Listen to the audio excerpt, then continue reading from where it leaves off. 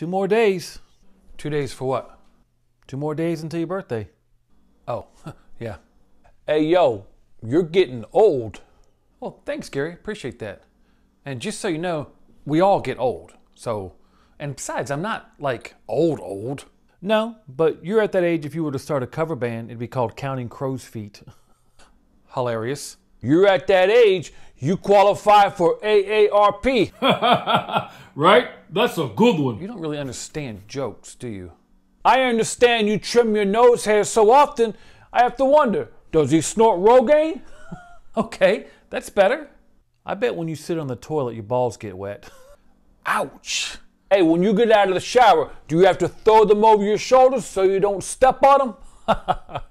You guys know we're the same age, right? Not exactly. No, exactly the same age. We were all born December 6th. I've danced with the devil. That's a bit dramatic. You guys hear that too, right? Make a wish. No, don't. Happy birthday, bitches.